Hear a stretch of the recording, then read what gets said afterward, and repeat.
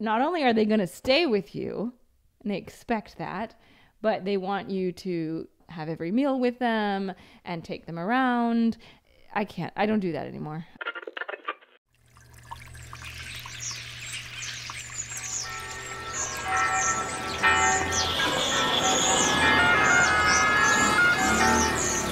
Welcome to Rome.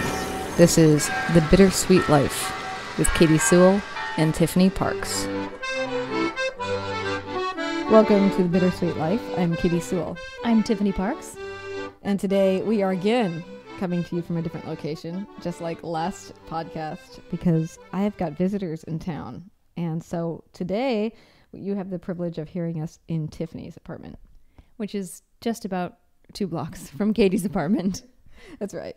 Uh, it's a little bigger, as you can hear as well. She lives in a nicer place because she had time to look around and find a good apartment. Anyway, like I said, I have visitors in the house.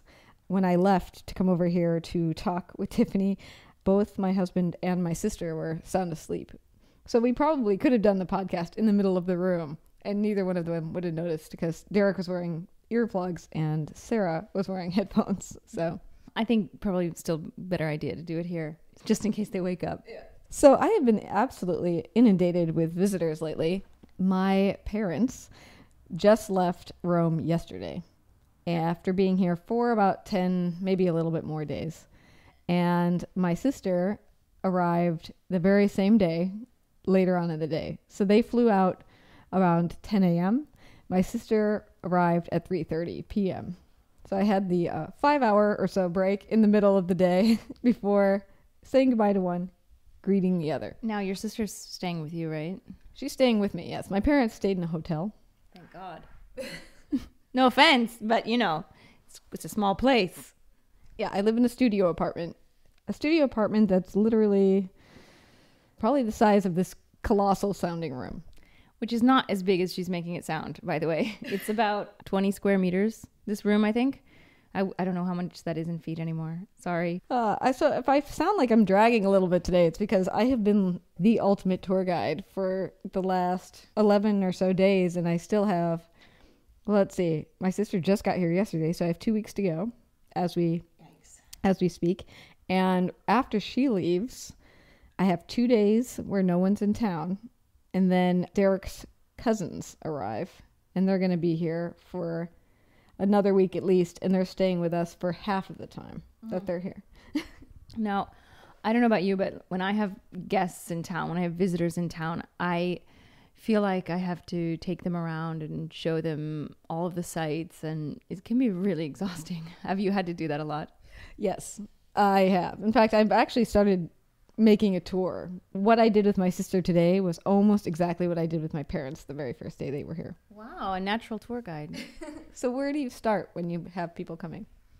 Oh, that's a good question. It really depends if they've been here or not. You know, my my parents have been here eight times or something, so I don't really actually have to do anything for them. I'm I'm I'm lucky that way. But if I let's say I have a friend coming who's never been to Rome, what is the first place that I take them? Just for sheer shock value, I might take them to the Pantheon first, just because it's so impressive. The Pantheon or the Colosseum, I would say.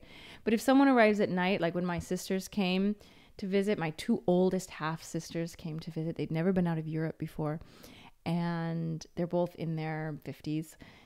And we. They'd never been out of the US before. You said Europe. Oh, oops. Sorry. They had never been to Europe before. See, I'm starting to go the other way, as you said. Um, they had been out of America, but never out of North America. So when they arrived, we, my husband and I, picked them up, and we took them immediately in the car on like a night, like a, just a drive through Rome by night, which I think is a great thing to do. If you obviously you have to have a, a vehicle to do this, or you know you could pay a taxi to take you around. It might be a little pricey though, and that's a great thing. You know, just drive by. You know, then of course later on you go back to these sites and you see them properly. But that's a fun thing to do. What do you think is so impressive about the Pantheon? Uh, well, I guess because it's so well preserved. You're used to seeing pictures of ancient monuments in Egypt or in Greece or even in Rome, you know, that are dilapidated and falling apart and four columns standing on one side and two columns on the other side. When you go to the Pantheon and you see the entire thing perfectly intact, standing there like time has stopped in the middle of the city too. It's not like when you go to Athens and you have to go to the old part of the city and see all of the ancient sites. In Rome, they're right in the middle of the city, and the city has grown up around them. So you're walking down a tiny little street with 18th century or 19th century buildings on either side. All of a sudden, you turn into a piazza, and the Pantheon is right in front of you at eye level. And for people who don't know how old the Pantheon is, the final version, because it did burn down a couple times, but the final version that we have today was built in the second century AD, like 120 something. 122, 117 actually. I think 117, but don't quote me on that. It was around that time. That was one of my first stops. My other first stop was Piazza Navona. Three fountains, nice church. It's probably the most picturesque square in the world, I think. It's just it's just beautiful. It's just you can't you can't argue with that. It's just beautiful. It is beautiful, and it kind of has a little bit of everything Rome offers. It's got fountains, it's got churches, outdoor obelisk. cafe life. Yeah, an obelisk, and it's got an ancient past too. This was the Stadium of Domitian back in the day. That's a good choice, yeah. definitely. And so then, where you said you'd kind of come up with a tour, so it starts there, and then where did it go? Well, it starts in Campo de Fiore, mm-hmm. where they used to burn people, and now they have a market and that's just because it's one of the closest things to where we are living, which is in Trastevere. So you just weave through there, Pantheon, Piazza Navona. And then with my parents, they don't walk as fast as my sister does. So we saw a lot more with her today than my parents did. But with my sister, she wanted to visit the Trevi Fountain, which I knew would be overrun by tourists. But what can you do? What can you do? No, I have a friend who I've actually talked about on this podcast before the one who had problems in London, if you remember. And she's lived here for years and years. She's been a tour guide for pretty much that entire time. And she says when she has family or friends visiting, she has a motto I don't do the Colosseum, I don't do the Trevi Fountain. and she refuses to take people to those two sites. She just puts her foot down. And I, you know, I have to hand it to her. It's after you've lived in a city for that many years, and especially if you do tourism as a job, you do not want to go to the Pantheon, not to the Pantheon, I'm sorry, the, the Trevi Fountain. I will go to the Pantheon any day of the week. It's just too wonderful and too beautiful, you know. But the the Trevi Fountain, which is also beautiful, don't get me wrong, but it's like you were saying, so crowded and just so full of people trying to sell every possible thing into your face. No, to go there when you're not working and when you have seen it 3,000 times, no, just not, just don't go there. But obviously, you've been here less than a year, so you probably haven't been too, you know, exhausted by the Trevi Fountain yet. I'm hoping. Well, I've also had wonderful, well, one wonderful occasion there where I had gotten up really early one morning to walk Derek to school where he's studying. Rome doesn't really get going super early in the morning, so things were still thin. I was walking for about a half an hour. I happened to walk past the Trevi Fountain and there was no one there. What time was it? It was maybe eight, eight in the morning. One or two people stopping by to take a picture every now and then, but tourist season was low at the time. And I stopped and I had a notebook with me and I just sat down and wrote, sitting on one of the benches there, you know, my own private gigantic fountain in front of me. And that was actually a pretty nice moment. So now when I go, and like usual, there's the hordes there, I can at least remember what it was like to sit in front of the Trevi Fountain by myself and write. That's amazing. That if more people realize that, if more tourists realize that you just got to do one of two things. You have to either get up insanely early or you have to stay up insanely late. And you have to obviously not come at high season. But I had an experience like that myself. But it was actually in high season. It was summer. And I happened to be out with a bunch of friends very, very late and riding bikes through the center of Rome at about three in the morning. I can't remember why, but we ended up at the Trevi Fountain at about, I guess, three or three thirty or four maybe at the latest. And we just sat in front of the Trevi Fountain. It was the same thing. There was no one there, but it was the middle of the night. It was in- incredible. It's an incredible thing to do, especially if you're a photographer. Just make the sacrifice. Get up early or stay up until the middle of the night, and you will have the entire city to yourself. It's so true because I got to see Piazza Navona that same way, four in the morning. No one else there. When you were jet lagged, right? Yes. Yes. A story I've already told on this podcast. So if you're just joining us, go back and catch up, right? Now, I wanted to ask you so you've had, as far as visitors since you've been here, it's really, correct me if I'm wrong, it's really only been your parents and your sister, right? Yes, they are the first. They're the first. Because, I mean, there's one, it's one thing when your parents or your sister comes or your brother, that kind of thing. You know, you have to take them around, it's an obligation. But let's talk about what happens when a friend of a friend comes or a friend who you're just not that close with and they come to the city and they don't stay with you you know but they come to the city and you get together and they expect you to take them around as if you were their private tour guide. You obviously haven't had an experience with this. What would you do? I wonder if I will though, because next after my sister are Derek's cousins, people that I've only met on my wedding day. Well i would say in that case that it's going to be his duty then to take them around right And I'm really looking forward to that, yes. Because right now it is really my on- duty. it's on you Uh, but I still think it will a little bit be that same way because I I just don't know them very well. now do you have any other friends coming in town that are not family or that are not super close friends either No. No. So I don't know. How would I deal that, with that? What do you do? Do you just say, "Oh, I, I've got to go to work"? Yeah, that's a good excuse to say that you have to go to work. But I've had many different experiences. I've had super, super close friends that are such close friends of mine that it's actually a joy to take them around. It can be a tiring joy, but it's gratifying. Gratifying the same way being a tour guide is gratifying. And I don't know if I've mentioned that I have worked as a tour guide for many years, although it's not my main job now. But being a tour guide, even if you don't know the people, when you see someone truly interested in what you're talking about and start to understand the city, because Rome is a city that's incredibly beautiful and anybody can see that.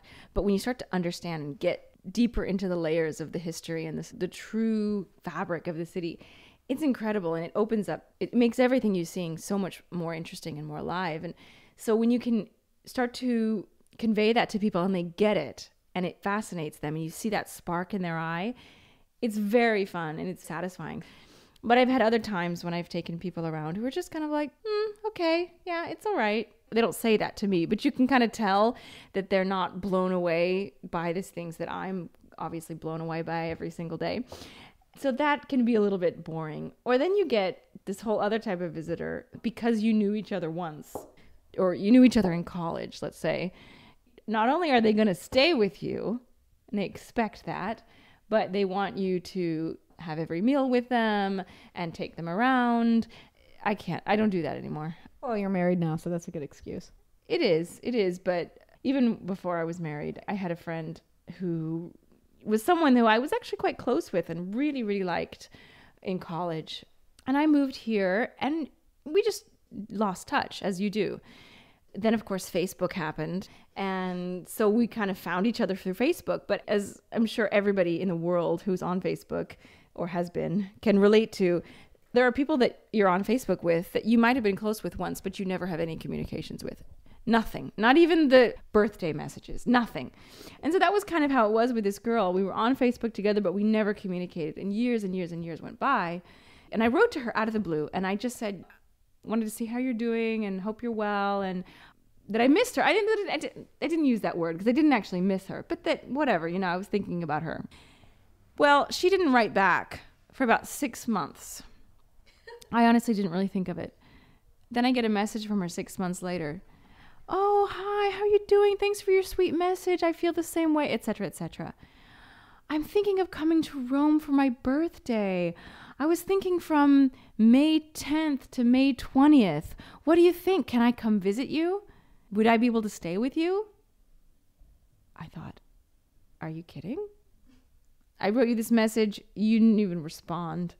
And now, because you want to come to Rome, now we're friends again. So I, I wrote her back and I said that I was really sorry that I had a tiny apartment and I didn't have space, which was kind of true. I, I mean, I had a roommate and my boyfriend was often staying over, my husband now. And so I just said, I'm sorry, I really don't have space. I don't even have a sofa, which I think was a lie. But, you know, I didn't have an actual extra room. She never wrote me back. Oh my gosh. Yeah, I know. The thing was, I did say, I said, you know, I'll, I know a lot of places where you can stay for not a lot of money. I can help you find a place. And I'll definitely take you around and we can go out to eat. It wasn't a total brush off. It was just, I'm really sorry I can't have you stay in my place, but I can't wait to see you, sort of thing. Never heard from her again. Wow. That's harsh. Yeah, well, when you live in a such a desirable place, like, and I'm sure people who live in Paris and people who live on the beach in Bermuda would be able to relate to this. That you live in an amazing city, people come out of the woodwork, people who you haven't heard from in many, many years, because they want to come stay with you. I'm actually surprised that hasn't happened to you guys yet. We had a lot of people in the run up to leaving all excited about coming. We're like, everybody should come visit us. Now we're really glad that a lot of people didn't take us up on that offer, but we could have certainly ended up that way. But I think it's because we're only here for such a short time. It takes a while for people to get their stuff together enough to plan a trip and go somewhere. When it's your family, I think that they have more of a push behind them. They don't just want an excuse to come to Rome. They also want to see where you're living and what your life is like now. I was kind of hoping that more good friends would decide to come. When you're living abroad, you don't just miss your family in that first year, you also miss the people who are your best friends Of quite a bit. Of course. Yeah. I wish that more of them had decided to come. Maybe not one right after another, but as a big group, that would have been nice. Yeah. Too bad I'm not getting married this year. I know. Come on, Tiffany. Renewal of vows. Okay. We're running out of time, but I did want to ask you something else. One question I've been asking myself a lot when I'm giving all these tours, and this is particularly good because you're a tour guide, so I've got a lot of knowledge in my head now about how things are here. You've got 10 times that amount of knowledge. And the question I keep asking myself is how many of these stories do you tell them? Or how many times do you, as you're walking down the street, having a conversation about something else, just go, hey, by the way, that's the oldest standing building in Rome right there. Or, oh, we're now walking on the oldest bridge in Rome, 2 BC. Uh, you know, how often do you throw all those little details at people? All the time. All the time. I do it with my husband. I was just hanging out with a friend of mine named Amy, who I'm hoping that we'll be able to interview in the next week or two. And she's lived here a long time, but she's not a tour guide and she's not as interested. I mean, she is interested, but it's not her, let's say, number one passion is studying Rome. And we were walking around Trastevere and we walked past this little street called Vicolo dell'Atleta, which is one of my favorite streets in Rome, which I couldn't resist. I said, Oh, come this way. I want to show you something. And I explained to her the ancient synagogue and the ancient statue that was found in the basement and how now it's a restaurant and the basement is a wine cellar and you can go and see it. And, and the street is named after the statue that was found there. And I can't really help myself. I'm not really doing it for their benefit necessarily. I like to tell these stories. I guess that's a good thing considering my profession. Yeah, considering you make money telling people these stories.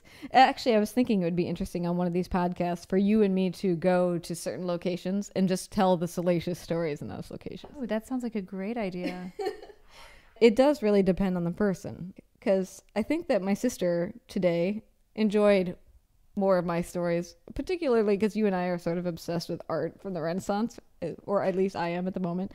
You know, I and I love telling the stories about oh, and here's where Raphael is buried, and then going off about his his life. And my sister seemed more interested in that than my parents did, right? Where they're just more, oh, whatever, let's go see something else. And my dad I asked him what he thought of Rome, and he actually came around a little bit by the end, but he said, I don't, I don't remember his exact words, so this is not a quote, but I don't know that I really like it. He was trying to explain that there's something about thinking a lot about the different things that happened here, you know, that he studied over his lifetime. Uh, He's a retired Presbyterian minister, so a lot of things of the biblical era happen around this area. Also, being in- interested in Caesar and all those people. And he said there's just something about having all that in your head and then seeing where the things actually happened and having it be nothing like that anymore. That the city has moved on. There is no sacred space where Caesar was killed doesn't exist anymore. It's long gone.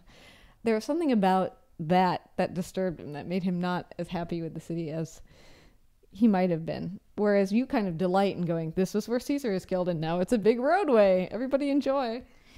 Well, it's not that I enjoy that the site was asphalted and covered up, but what I enjoy is to see the different layers of the city. Obviously, if you could visit a site that had been perfectly preserved the way that it was, Caesar's blood still on the ground. if you, if you could do that, that would be unbelievable. And that's why going to places like Pompeii and Herculaneum which are not perfectly preserved by any means, but they're very well preserved because of certain things that happened. In that case, because of the eruption of Vesuvius, frozen in time, and nothing was built over it. And so that has its merits, and I think that's an amazing thing to see. But in Rome, I think what makes Rome unique is that it did continue. It has a unbroken history of 3000 years. It has been continually inhabited for 3000 years. I think that makes it more fascinating. Obviously, it's a shame that certain sites were just completely destroyed. A lot of time it was because of people who should have known better, to be honest, popes in the 1600s, 1700s who really should have known better. Maybe not the 1700s, but up to the 1600s for sure. But other times it was because progression of time. People were living here in, in ancient times. Their home was deserted. People in the mid, Middle Ages, two, three hundred years later, had to find a place to live. It, it, was a very difficult time, so they moved in. They used the ancient site to build their home, and that eventually developed into something else. It, just one layer on top of the other. It's what makes Rome fascinating, I think. Well, and frankly, it's also it's not just that. It's that the way that we feel about preserving sites is different now. In the past, my understanding, as far as archaeology is concerned, this isn't something that people were doing all along. This is an amazing place. Let's preserve it. And a lot of the things in Rome are if a building is really, really old and it's in good shape, it's generally because the church took it over the Pantheon is still in good shape because the church was paying. Well, the Pantheon became a church. That's why it was. Right. But I mean, if it had stayed a temple to the gods that people aren't worshiping anymore, mm-hmm. Mm-hmm. then eventually it would have fallen into disrepair more than it did being taken over by a group that was still in power. Oh, absolutely. That's the reason. That is the reason that the Pantheon is still in perfect condition was because it became a church. It was no longer open to being despoiled. but I think it's great that there are some sites that are perfectly preserved, like the Pantheon, and and there are some others that are maybe not perfectly preserved, but you can see the entire site. But I think that you can't expect a modern city to stop. I mean, Rome has stopped anyway. It really stopped around 1900. Nothing really has changed in Rome, with very few exceptions, in the center of Rome. And there's you know, the neighborhood of EUR to the south that was completely developed in the time of Mussolini. Other than that, there's really nothing in Rome that's changed since about 1900. Obviously, I'm glad in a way because Rome is so amazing because it's so old and because of all of the things. If you turned it into Berlin or Tokyo or New York, that would be pointless. But on the other hand, a city still has to be livable you should progress in a certain extent. I don't know, it's a difficult, it's a very difficult and delicate question. Yes, because as it is now, the whole center, downtown center of Rome, is an archaeological dig, essentially, and all the cars have to drive around it in a big circle to get to work. So yeah. in that way, it's kind of inconvenient. No, it's very inconvenient. But I mean, I can really see both sides of the of the issue. That that is very convenient, and people need to get to work, and you know, there's no metro. Well, there is a metro in Rome, but it's not very good because of the ruins underground. But if Rome had been completely deserted at the fall of Rome, 479, I think, is the date. If everybody had left Rome, the only way that the city could have stayed the way it was is if everybody had left but if everybody had left, it would be gone. It would be completely gone. There would be nothing left. Maybe one or two temples. Really, there would be nothing left. The reason that Rome has survived is because people stayed there and because people built a house into the temple or built a church into a temple. It wouldn't have survived otherwise. It would have been ghost town. I think that the change that came about was necessary. It was a necessary evil. And I think Rome is beautiful because, not in spite of all of the changes that came after. Going back to our visitor quandary before we end. Sorry, that was a, a big bit of a tangent. No, no, tangents are good. So when you have visitors come and they don't see all this stuff to appreciate, like you appreciate, do you find that you feel differently about those visitors? I don't know if I've changed my opinion of them as people, but it bothers me. It definitely bothers me if if somebody is lackadaisical is that the right word? And I guess that's not the right. Ambivalent. If someone is ambivalent about the city, I almost get offended as if they're talking about my mom, you know? and uh, but I don't think I would necessarily change my opinion of them. Without offending anyone, I think if you can't recognize the beauty of Rome, you don't really have eyes. How could you not? I have a friend who we were walking, she's as well lived in Rome for many, many years, and we were walking home from having an aperitivo, and we passed through the Piazza della Rotonda where the Pantheon is. It was nighttime, and both of us have seen the Pantheon probably thousands of times, and and she stopped and she looked up at it, and we looked like two tourists, and she said, "You know, I think if you stop, walk by the Pantheon without looking at it, you might as well not be alive anymore." We'll leave it there. And just to be clear, my dad does like Rome. all right, all right. Because I was about to say, I don't know if I can hang out with your dad anymore. Yeah, I don't want to throw him under the bus. it was a city he liked. We'll leave it there. Uh, I'm Katy Sewall. I'm Tiffany Parks. This is The Bittersweet Life. Check out our website, thebittersweetlife.net. And leave us a comment. If you have any ideas for uh, what we should talk about, let us know. Bye bye. We welcome your questions and your feedback. Reach the show by emailing. Hi, it's Katy. Bittersweet Treating you to another lunchtime concert. Bittersweet Life at mail.com. Just taking a moment to remind you of different things you can do to support the show. Number one, if you're coming to Rome, let's not forget that Tiffany is an excellent tour guide find her at the pinesofrome.blogspot.com. There's a link on our website, thebittersweetlife.net, and you can have her personally drag you around the city. And you can consider supporting us. There's a donate button on our website. It helps us pay the bills and keep this podcast going without too much loss for us. And support us also by telling your friends. Spread the word. Thanks so much for spending all this time with us.